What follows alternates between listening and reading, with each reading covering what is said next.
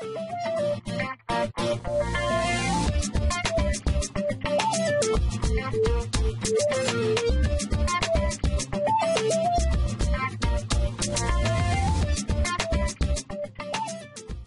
back students, Mr. McCoy here, going to give you instructions today on how to get moving on your first Scratch project. In the last warm-up, Scratch Warm-Up 9, uh, it looked just like this and you learned about wall detection and how to improve movement so that it's fluid if you use a series of if statements. Uh, checking to see if a key is pressed then you can get rid of that lag for whenever you first press keys and it also helps you do things like moving diagonal.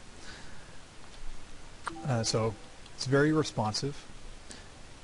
And we also talked about using if touching color as a way of detecting walls and setting a person back to the start and so you could make a pretty easy maze.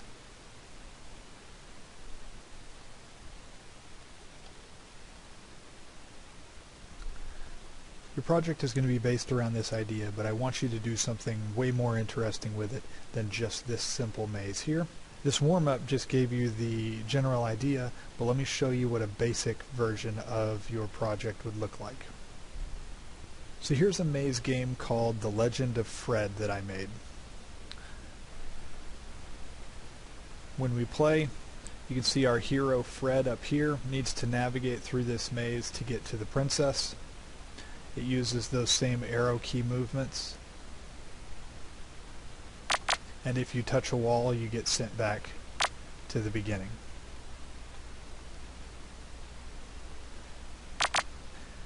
If you click this See Inside button, then you can see inside of the code. You can see the game was made using only three sprites. The maze itself is drawn on the stage. You can look to see what code I've put inside of each sprite. And I even added a variable for death count so it keeps track of how many times you died or touched the wall.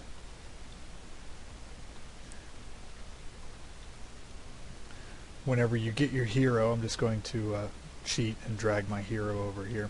Whenever you do get to the princess, some music is played and it says you win.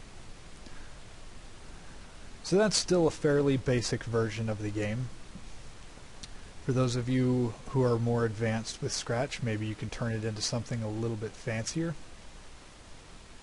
Here's the more advanced version of the Legend of Fred that I made. There's a whole lot more going on in this one. There's obstacles that you have to avoid. There's buttons that cause traps. Um, there are keys that you have to like get this blue key to make this blue door go away get this red key to make this red door go away you have to have the sword in order to kill the dragon.